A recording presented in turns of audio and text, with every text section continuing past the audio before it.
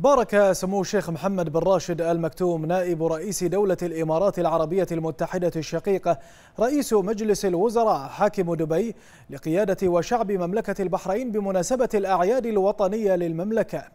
وتقدم سموه بالتهنئة إلى مملكة البحرين عبر تغريدة على حسابه الرسمي في موقع التواصل الاجتماعي تويتر حيث أعرب عن تمنياته بأن تستمر المحبة والمودة بين البلدين الشقيقين وأن يديم الله على مملكة البحرين العز والأمن والأمان.